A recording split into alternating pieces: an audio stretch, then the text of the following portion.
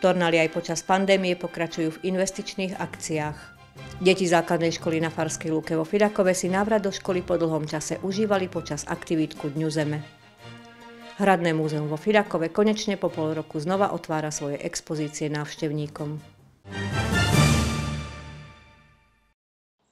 V Tornali aj napriek viac ako rok trvajúcej pandémii prebieha väčšina naplánovaných investičných akcií. Tento fakt veľmi pozitívne ohodnotil v našom rozhovore aj predseda Investično-finančnej komisie, ktorý okrem iného pripomenul, že všetky tieto akcie majú za cieľ jediné zlepšenie každodenného života všetkých obyvateľov mesta Tornada. Základným predpokladom pre ďalší rozvoj mesta je podľa neho zastavenie poklesu počtu obyvateľov, a to aj vytvorením podmienok pre vlastné bývanie. Čo sa nám podarilo a nie len komisii, ale aj e, samozrejme Mestskému zastupiteľstvu v spolupráci s mestom, e, s vedením mesta. E, ďalšia, podľa mňa veľmi, veľmi dôležitá vec a takisto pre mňa srdcová záležitosť a to sú nové stavebné pozemky.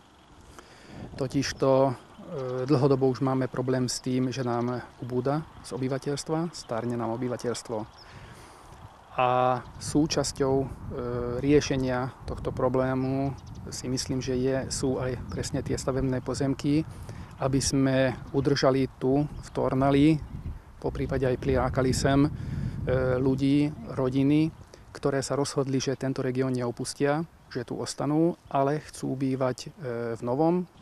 Za posledné desaťročia bolo pozemkov vhodných na výstavbu rodinných domov vytvorených len zo pár, a aj preto maximálne podporili aj so svojimi poslaneckými kolegami v súčasnosti už prebiehajúcu prípravu pozemkov v meskej časti Stárňa. Veľmi pozitívne vnímam a som veľmi rád, že sa nám podaril aj tento projekt. To znamená, že v meskej časti Stárňa boli vytvorené nové moderné stavebné pozemky e, s kompletnými sieťami, s kompletnou infraštruktúrou a všetko, čo k tomu patrí. E, takisto vnímam pozitívne, že aj táto akcia má aj ďalšiu etapu, respektíve e, je tam vytvorený priestor na ďalšiu etapu. Takže na, na vytvorenie ďalších ešte stavebných pozemkov. Podľa informácií z Mestského úradu v prvej etape tu vznikne 15 a v druhej ďalších 8 nových pozemkov s vybudovanými inžinierskými sieťami. Prevažná časť nákladov na výstavbu sietí je financovaná zo zdrojov mesta. Ďalšou zmenou v bytovej politike, ktorá by mala pomôcť najmä mladým rodinám, je pripravovaná výstavba nájomných bytov. Keď sme hovorili o, o bývaní, tak musím spomenúť aj bývanie vo forme nájomných bytov, E, o čom veľmi reč zatiaľ nebolo tu u nás, nakoľko nebola ani základná podmienka k tomu, aby sme išli do nejakého takého projektu a to preto, lebo mesto nedisponovalo pozemkom alebo pozemkami, ktoré sú vhodné na výstavbu takýchto nájemných bytov. Takisto ma veľmi teší, že v minulom roku sa nám podarilo nadobudnúť takéto pozemky, ktoré svojou rozlohou aj kompaktnosťou E, vyhovujú na takýto účel. Takže na, na postavenie takýchto nájomných bytov je to na ulici Južnej. V súčasnosti sa po nadobudnutí týchto pozomkov analizujú možnosti spolufinancovania výstavby nájomných bytov. Investično-finančná komisia však veľmi pozitívne hodnotí a podporuje aj ďalšie investičné akcie, ktoré napriek prebiehajúcej pandémii stále pokračujú. Týka sa to končiacej rekonštrukcie Mestského kultúrneho strediska či pokračujúcej komplexnej opravy domu smútku. V rámci tých investícií, ktoré prebiehajú a plánujeme, je investícia do hlavného námestia, keďže minulý rok e, sa podarilo odovzdať novú modernú autobusovú stanicu, ktorú e, postavil ČSA či SAD Lučenec ale na hlavnom námestí e, ostal stav, ktorý, ktorý nie je príliš dobrý, ktorý určite požaduje nejakú nápravu. E, už v tomto rozpočte sme na to mysleli. Máme vyčlenené peniaze na rekonštrukciu. V predchádzajúcom období sa tiež podarilo zrealizovať aj niektoré menšie investičné akcie, ako je rekonštrukcia vykorúvacieho systému Mestského úradu, či výmena okien na materských školách, stále prebieha príprava zberného dvora, či rekonštrukcia budovy bývalého zdravotného strediska v hnedom priemyselnom parku. Rysuje sa však aj ďalší veľký projekt. Už rok e, prebiehajú, alebo prebieha komunikácia e, ohľadne jedného pilotného projektu. Do toho teoreticky e, by sme mohli vstúpiť v spolupráci so Svetovou bankou, Bansko-Bystrickou župou z prostriedkov európskych fondov. Tento projekt má názov integrovaná, Centrum integrovanej starostlivosti, e, kde by boli služby zdravotné, integrované by boli služby zdravotné, sociálne a komunitné. V čiastočnom hodnotení polovice funkčného obdobia súčasnej tornávskej samozprávy v podaní zástupcov jednotlivých komisí pri Mestskom zastupiteľstve budeme pokračovať aj v ďalších videniach regionálneho týždenníka.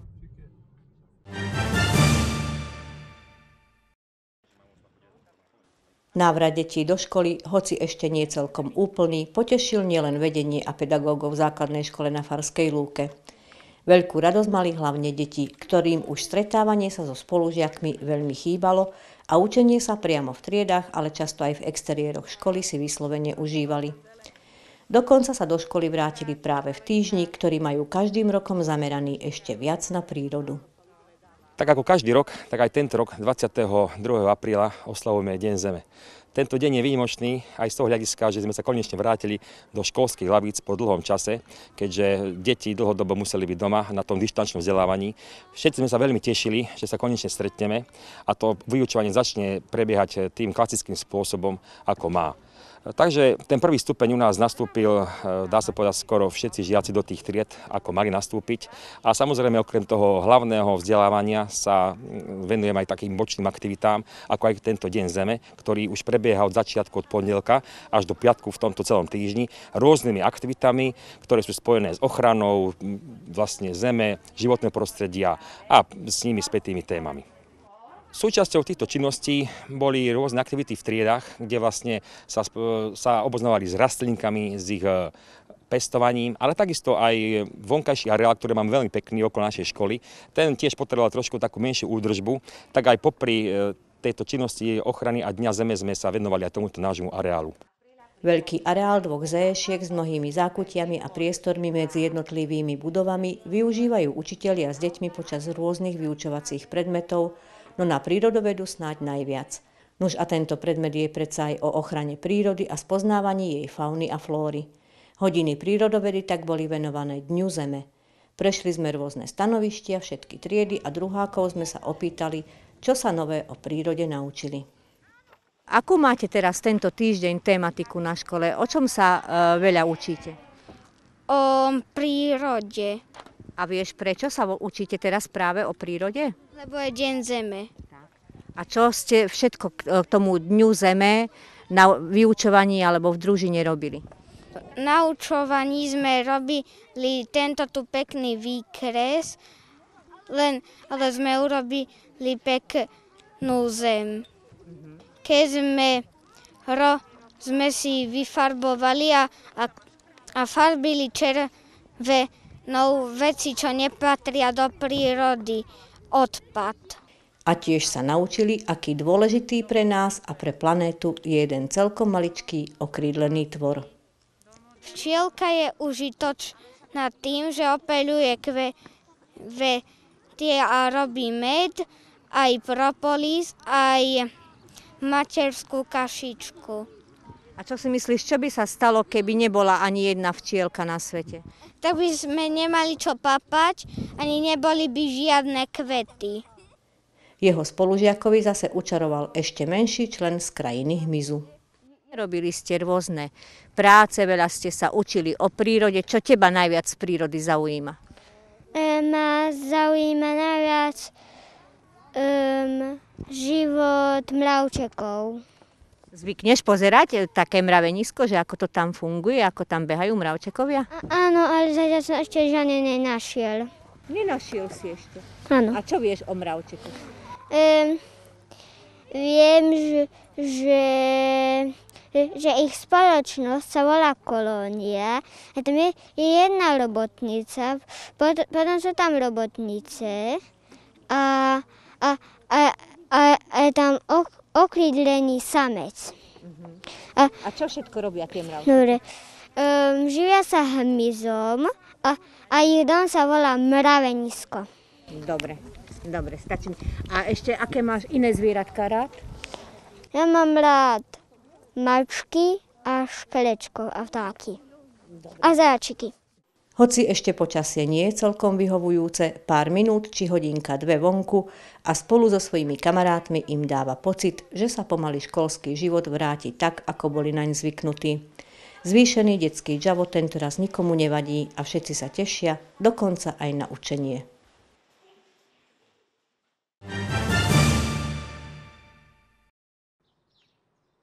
Po dlhej neveselej zime, oneskorenej jari a po dlhých karanténach či obmedzeniach majú konečne dôvod na malý opatrný úsmev už aj pracovníci múzeí, galérií a niektorých kultúrnych inštitúcií. Na Filakovský hrad sa návštevníci mesta i domáci opäť dostanú už od mája. Hradné múzeum vo Filokove otvára všetky svoje zariadenia 1. mája, takže okrem knižnice, ktoré už aj doteraz bola otvorená, hrad potom Mestské vlastivedné múzeum a, a informačné centrum. E, hrad si môžu naštíviť e, ľudia od pondelka do nedele medzi 10. a 6. Potom Mestské vlastivedné múzeum od útorka do piatku e, medzi 8. a 4. Takisto aj Mestské vlasti, či turisticko-informačné centrum, ale to od, piat, to od pondelka do piatku.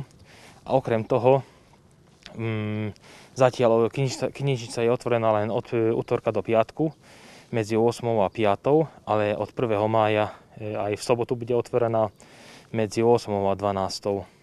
Návštevy sú zatiaľ len individuálne, bez prievodcov a v obmedzenom počte. Potrebný je negatívny AG alebo PCR test a v priestoroch múzea aj respirátor. V exteriéri hradu stačí aj bežné rúško. Pracovníci múzea musia dbať hlavne na dodržianie týchto opatrení a sledovanie súčasného počtu návštevníkov. Smutní sú z pozastavenia väčších podujatí, ale nejaké novinky predsa len majú. Na základe metrov štvorcových do bebekovej vože, veže, alebo bebekovej veži môže byť, byť 23 e, osôb, potom bunkry 13 osôb, v remeselníckom e, domčeku jedna osoba a okrem toho ešte v galérii Mestského múzea tam traja a v, v priestoroch stále expozície e, tiež v, v Mestskom múzeu deviati. E, okrem toho pribudli do hradu aj nejaké novinky. Máme nové fotopanely, drevené historické spoločenské hry, dúfame, že vďaka tým novinkám tá prehliadka radu bude ešte zaujímavejšia. Okrem toho dvojazyčné ako slovensko-maďarské popisky predmetov e, bolo doplnené aj anglickým jazykom. Na zatiaľ v Hradnom múzeu nebudú sa konať e, hromadné podujatia, takže e, ani v tomto roku nevieme zorganizovať Noc múzea galérií na Filakovskom hrade a teraz pracujeme na tom, aby, aby hradné hry boli preložené na september. Nová výstava sa chystá v galérii Mestského vlastivedného múzea. Síce bez oficiálnej vernisáže, ale dostupná bude takmer 3 mesiace, otvoria ju 18. mája. Výstava Makiet od miestneho modelára Tibora Pétera alias Fito či bude to prezentovaná bojová, vojenská technika z druhej svetovej vojny, ale budú vystavené makety aj takých e, vozidiel a zbraní, ktoré sa používali aj pri filakovských udalostiach. Niektoré z tých makiet potom v budúcnosti bude, e, budú vystavené aj v protileteckom úkryte pod Filakovským hradom. Zároveň pripomíname, že vstupenka z Hradného múzea slúži návštevníkom aj na prehliadku z rekonštruovaného rímskokatolického kostola, respektíve ako kupón na zľavu vstupného na hrade Šomoška. Snáď leto prinesie aj k ním viac povolených akcií.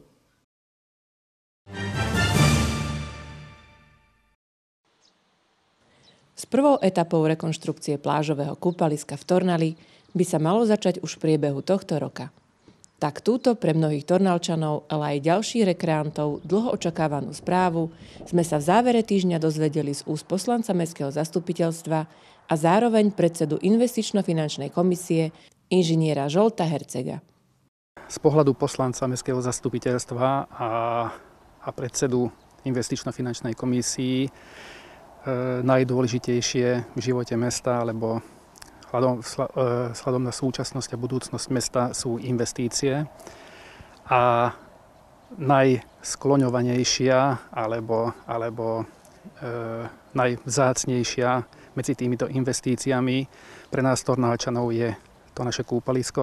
Plážové kúpalisko je pre mnohých domácich ozajstnou srdcovou záležitosťou a preto len veľmi ťažko niesli skutočnosť, že napriek snahe vedenia mesta či samozprávy Kúpalisko pre zlý technický stav už dva roky nebolo v prevádzke. Teraz by sa malo všetko zmeniť. Spoločnými silami sa konečne podarilo nájsť systémové, koncepčné riešenie, ktoré by malo tento problém postupnými krokmi odstrániť. Po dlhých konzultáciách aj s e, odborníkmi sme dospeli k záveru, že keď hovoríme o rekonštrukcii kúpaliska, tak to musíme začať e, úplne od začiatku. To znamená, že nestačí tu vypracovať len projektovú dokumentáciu, ale pred projektovou dokumentáciou e, dobre by bolo dať vypracovať aj prípravný dokument alebo prípravný materiál.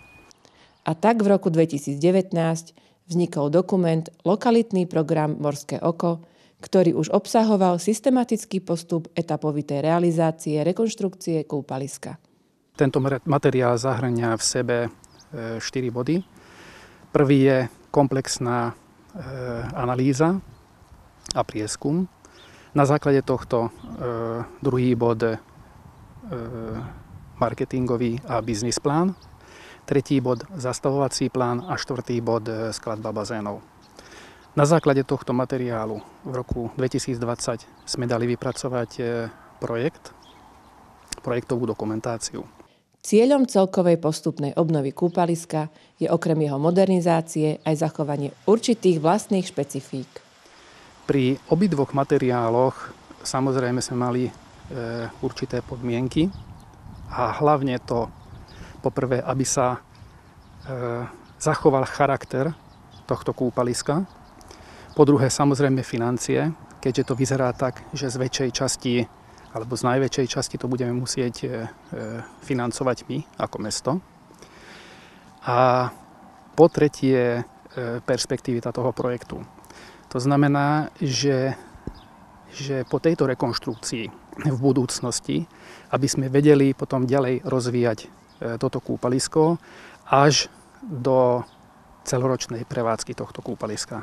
Samozrejme, že najťažšou úlohou je financovanie rekonštrukcie.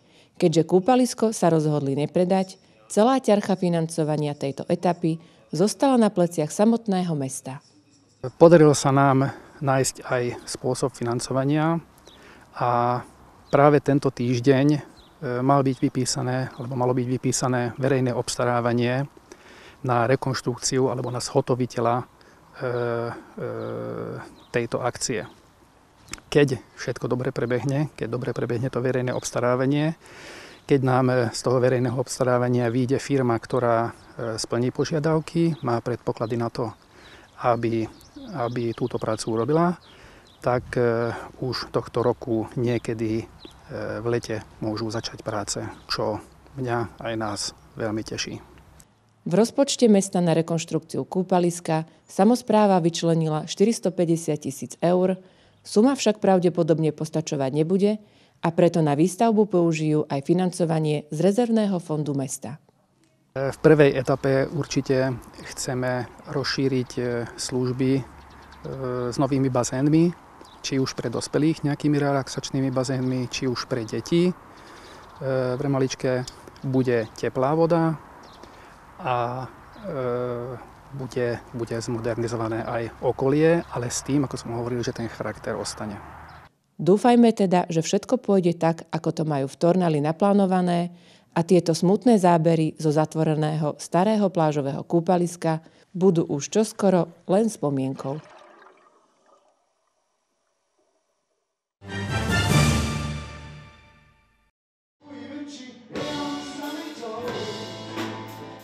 Umelci a hudobníci sa aj napriek aktuálnej situácii nevzdávajú. Dôkazom je aj nový projekt hudobníkov v Lučenci. Online festivalský nápolo odštartoval v piatok 19. marca.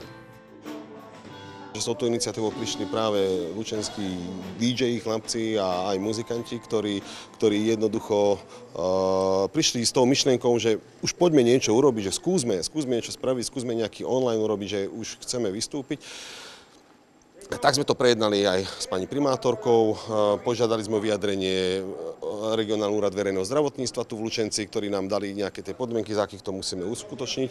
A vlastne slovo dalo slovo, no a výsledok je tu. Dneska máme prvé také pokusné vysielanie, e, online vysielania. A toto vysielanie v podstate by malo fungovať každý piatok od 19. hodiny a vlastne podstatou tohto je dať šancu lučenským kapelám, lučenským DJom a rôznym a iným umelcom. Veríme, že možno nejaký iný program ešte vymyslíme a vlastne každý piatok od tej 19.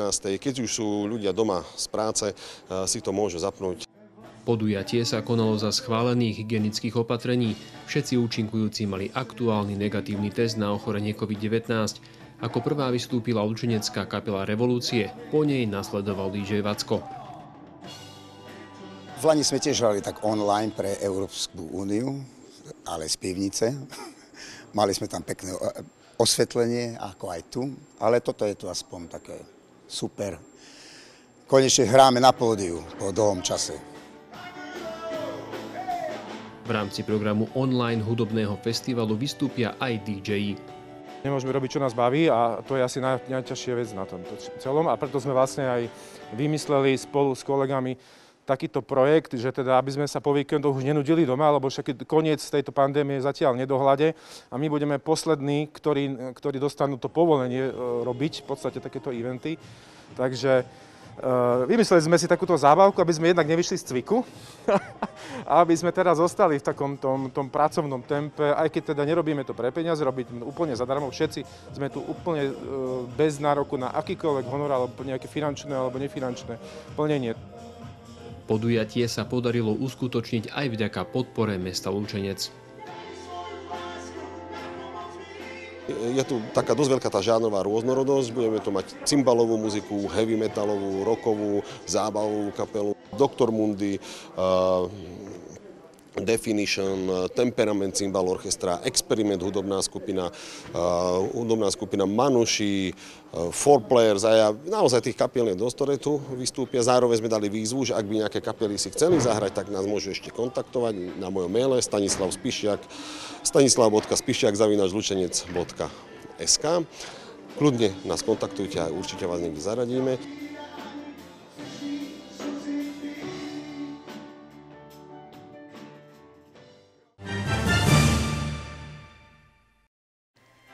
Tornali aj počas pandémie pokračujú v investičných akciách.